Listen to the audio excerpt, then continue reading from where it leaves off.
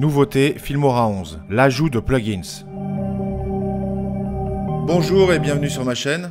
Aujourd'hui, nous allons voir une nouveauté de Filmora 11, la possibilité d'ajouter des plugins. Ces plugins permettent entre autres d'ajouter du texte en 3D. Nous verrons cela en fin de vidéo. Alors je dois vous informer tout de suite que cette euh, nouvelle fonctionnalité est payante. Chaque plugin que nous pouvons installer coûte un abonnement de 10 euros par mois à peu près. Alors on peut diminuer le coût en ajoutant Filmstock, les deux plugins et d'autres fonctionnalités payantes et ça fait une vingtaine d'euros par mois. Ceci dit, on peut les essayer même sans les acheter. Ça vous permettra de comprendre si ça vous est nécessaire ou pas. Parce qu'en effet, ces plugins ne sont pas installés par défaut avec Filmora 11. Lorsque vous cliquerez dessus, on vous demandera si vous voulez les installer. Alors New Blue FX, c'est une installation de 600 mégas si je me trompe pas, et euh, Boris FX de 400 mégas. Alors ces deux plugins contiennent énormément d'effets, on ne fera pas le tour complet ici. Je vais vous donner un aperçu et surtout je vais vous montrer comment créer des textes en 3D. Le cas échéant, je ferai des vidéos d'approfondissement, d'ailleurs n'hésitez pas à me le dire en commentaire s'il vous plaît. Qu'est-ce qu'un plugin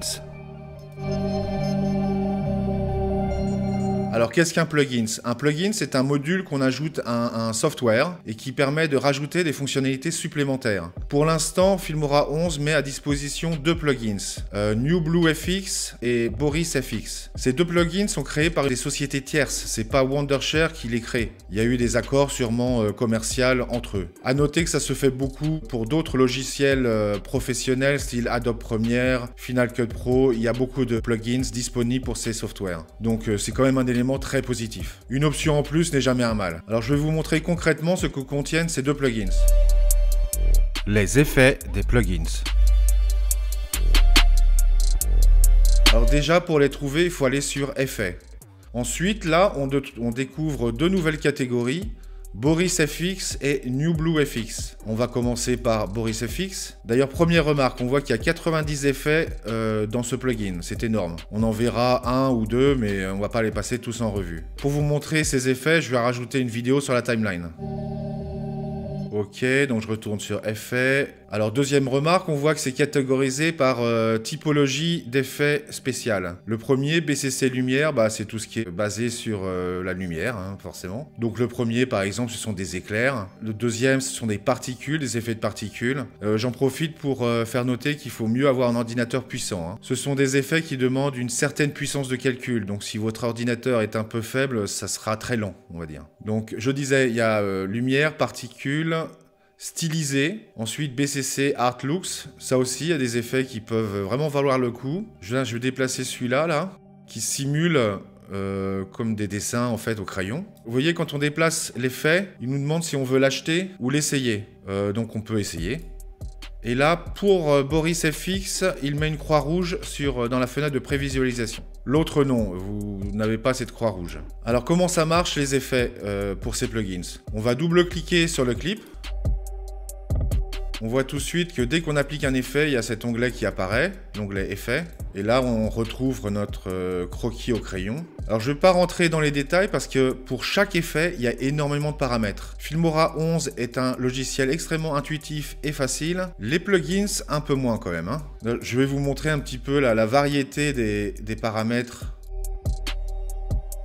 vous voyez, on peut jouer sur énormément de facteurs. Pour vous faciliter la vie, euh, ces plugins sont prévus des pré-réglages. Alors, soit vous les choisissez dans ce menu déroulant, soit vous cliquez sur Navigateur FX. On voit que sur la partie de gauche, il y a un certain nombre de réglages prédéfinis. Donc du coup, ça rend euh, l'outil un peu plus accessible quand même. Une chose importante à noter, c'est qu'il y a une aide en ligne. Et c'est pratique si vous voulez approfondir les différents paramètres. Vous cliquez sur Aide. Ça ouvrira donc euh, une fenêtre qui vous expliquera exactement comment utiliser. Là par contre c'est en angle anglaise. Mais bon, euh, il y a toujours la, possibilité de traduire en français. Traduire.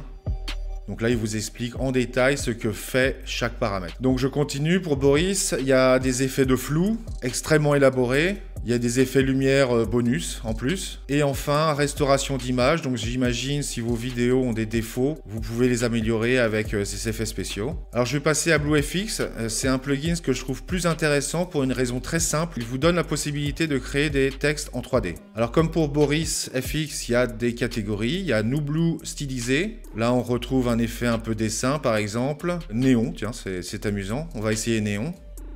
Alors toujours pareil, on va essayer. Hein. Et là, on va double-cliquer dessus, on va aller sur Effet, et on va voir un petit peu comment ça se paramètre.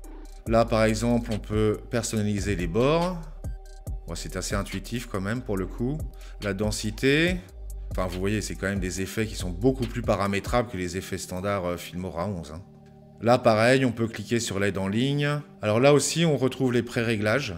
Donc à voir. Non, si on veut faire des effets vidéo avec des effets spéciaux, ce sont des plugins très intéressants. Après, on peut toujours prendre l'abonnement et puis le désactiver et puis le réactiver euh, ponctuellement quand on en a besoin. Donc euh, pour les autres New Blue, il y a Elements. On va ajouter cet effet tile, ça a l'air d'ajouter une sorte d'écran partagé.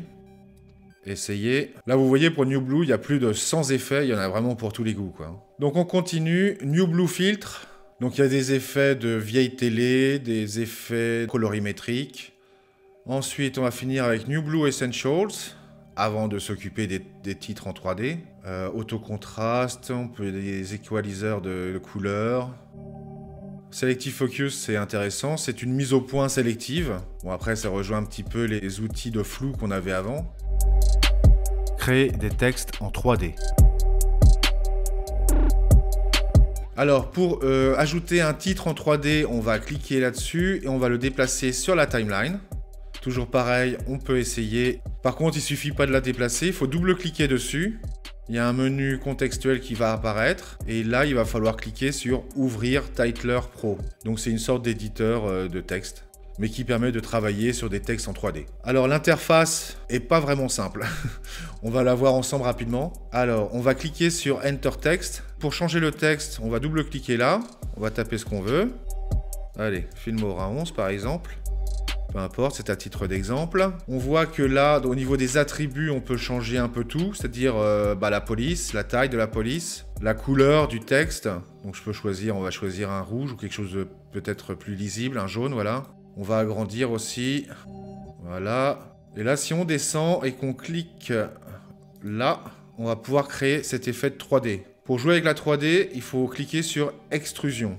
Vous voyez, là, ça crée de la profondeur au niveau des lettres. Et après, avec cet outil-là, on pourra les déplacer, on pourra faire tout ce qu'on veut. L'interface est partiellement en français, partiellement en anglais. J'espère qu'ils vont tout traduire en français bientôt. Donc voilà une description rapide. On peut ajouter à l'intérieur de cette timeline des images clés et créer ainsi des mouvements, tout ce qui peut nous passer par la tête. Mais sinon, vous n'êtes pas obligé de vous embêter avec ça. Vous pouvez choisir des templates préexistants. Alors pour ce faire, il faut cliquer sur cette flèche et on va cliquer sur cette icône. Voilà, là on voit plein de catégories. On va voir euh, dans le cadre de ce tutoriel les modèles de cinéma. Voilà. Donc on voit euh, comment est structurée la timeline. Là on voit qu'il y a des flares, c'est les effets lumineux au niveau de l'espace. Donc il y en a plusieurs. Là par exemple c'est un champ de texte qu'on peut modifier donc. Donc je vais euh, écrire new blue. Ensuite en dessous qu'est-ce que c'est? C'est du texte? Oui. Donc là je vais écrire plugin. Euh, et ça, c'est quoi Voilà, c'est la particule. On va mettre euh, fx. Voilà.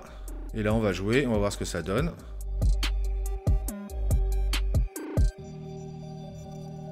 Alors, on va dire que c'est fini. On va maintenant l'intégrer à notre projet. Fichier, sauver. Et puis, on va fermer l'interface.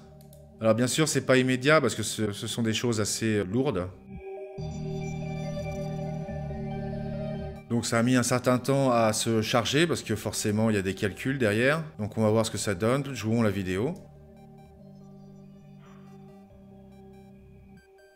Donc euh, n'hésitez pas à liker bien sûr et puis à vous abonner. Allez, ciao ciao et à la prochaine.